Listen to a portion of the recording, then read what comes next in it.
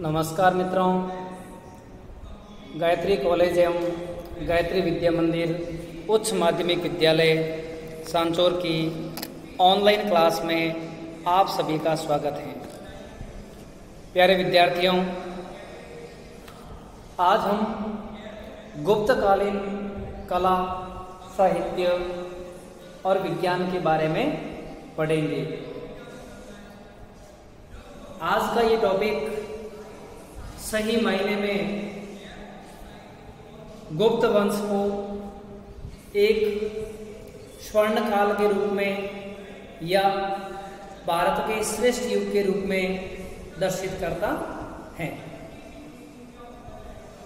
गुप्त काल के कला, साहित्य और विज्ञान की प्रधानता होने के कारण गुप्त काल की तुलना यूनान के पेराक्लियन युग से की जाती है।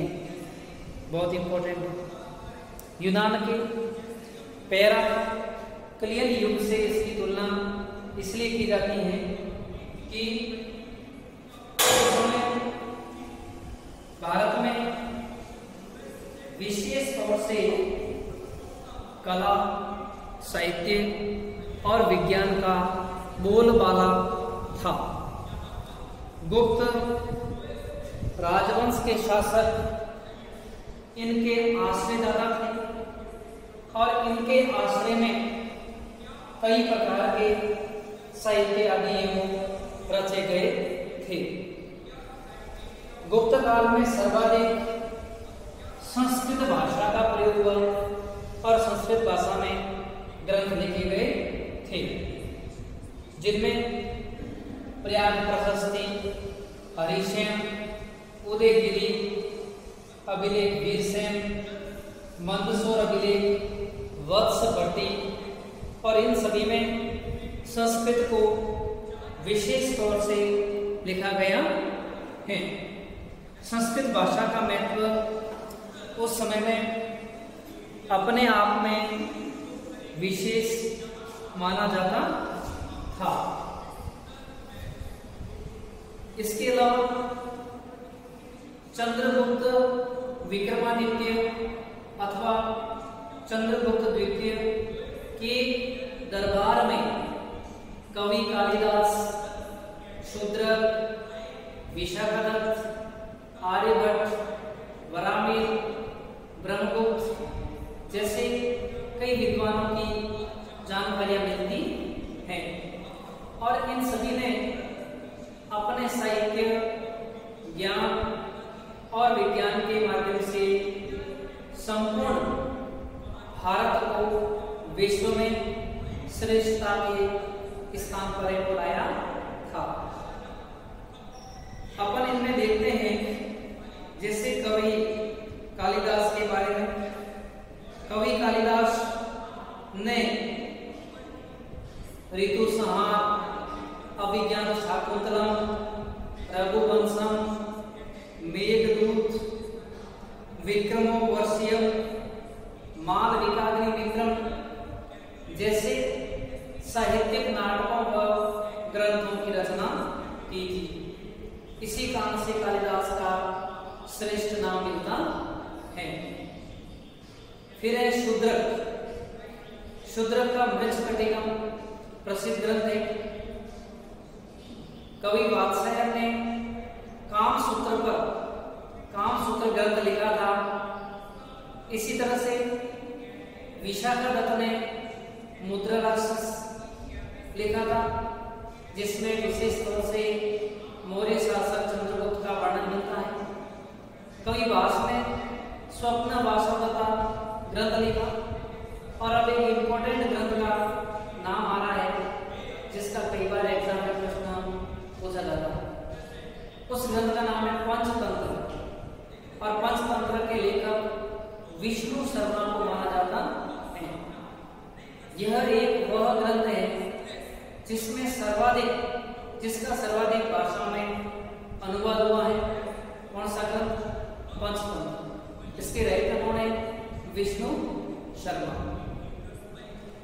फिर अपन देखते हैं कि गणित के महान आचार्य खगोल विज्ञान की जानकारी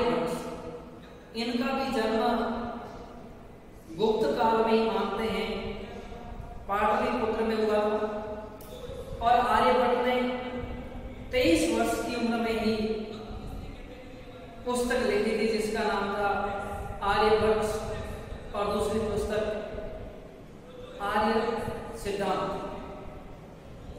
और आर्यभट्ट ने ही विश्व में पहली बार आर्यभट्ट ने ही विश्व में पहली बार पाई का मान दर्शाया था।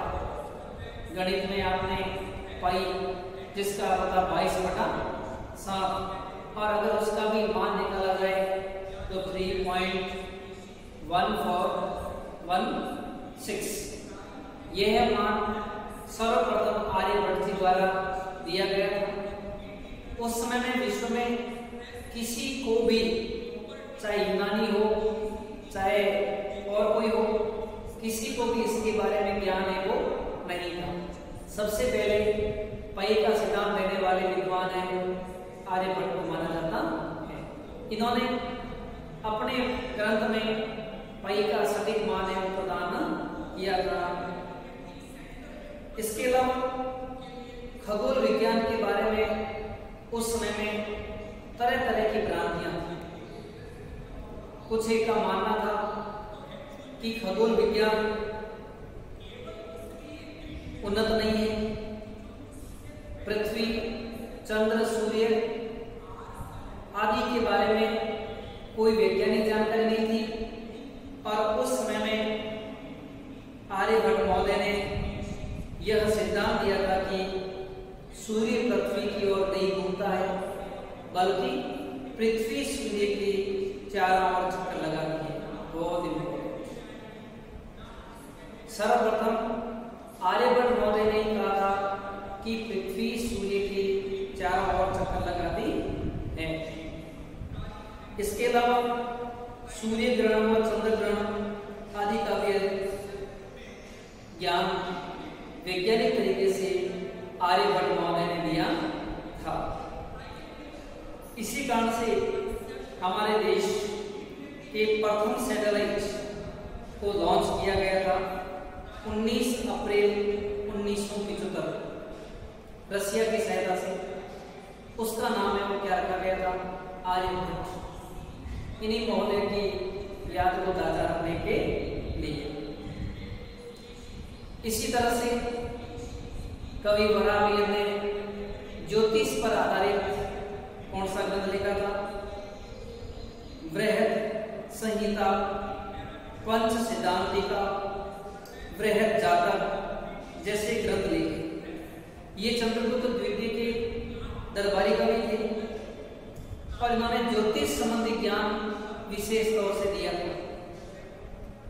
उस समय जगत में किसी के पास ये ज्ञान नहीं था।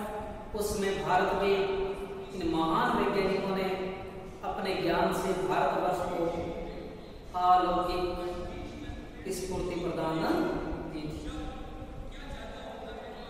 उस समय इन वराह जी द्वारा जो सिद्धांत दिया गया था, वो सिद्धांत आज भी ज्योतिष जगत में माना जाता है।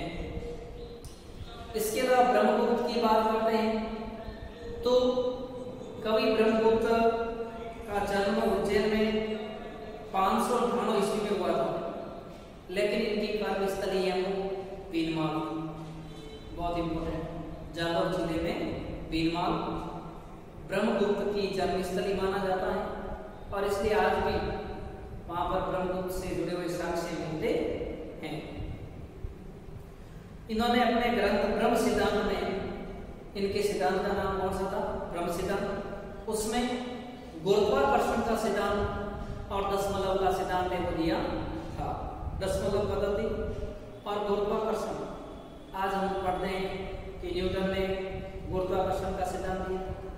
लेकिन सही महीने में देखा जाए तो न्यूटन से पहले ब्रह्म, न्यूटन से पहले ब्रह्मगुप्त ने गुरुत्वाकर्षण का सिद्धांत दिया था और ये दर्शाया कि पृथ्वी किसी भी वस्तु को अपनी ओर आकर्षित करती है, इसलिए हम उसे ऊपर फेंकते तो वस्तु नीचे आती प्यारे विद्यार्थी, ये हमारे इतिहास का गौरवान्वित क्षण चल रहा है। जिस समय संपूर्ण विश्व में किसी के पास ज्ञान, विज्ञान, तकनीक नहीं थी, उस समय में भारत के महान विद्वानों ने भारत की कीर्ति में चार चाँद लगाने का कार्य है किया।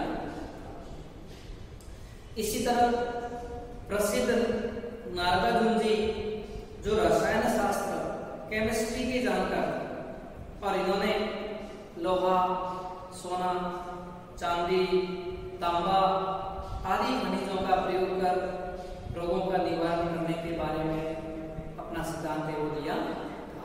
अर्थात उस समय भी केमिस्ट्री के जानकार कौन थे? नारदागुन ठीक है? इसके अलावा महाभारत और रामायण जैसे जो ग्रंथ थे, उनको अंतिम रूप लिखे तो पहले लेकिन इनको अंतिम रूप गुप्त काल में ही प्रदान किया गया था। बहुत इंपॉर्टेंट बात है। इसके अलावा छह दर्शन की रचना की गई थी, जिनको कहा जाता है षड दर्शन। बहुत इंपॉर्टेंट है। एग्ज़ाम में इनके बारे में हमेशा एक प्रश्न ज़रूर मिलता है। इसके बारे में? षड दर्शन के बारे में। इसमें सांख्य दर्शन के प्रणेता, महर्षि कपिल योग दर्शन के प्रणेता, पतंजलि, न्याय दर्शन के गौतम, वैशेषिक दर्शन के कणाद उत्तरी मीमांसा दर्शन के जैमिनी सॉरी पूर्व मीमांसा दर्शन के जैमिनी और उत्तर मीमांसा ग्रंथ के बदरायण जी को माना जाता है।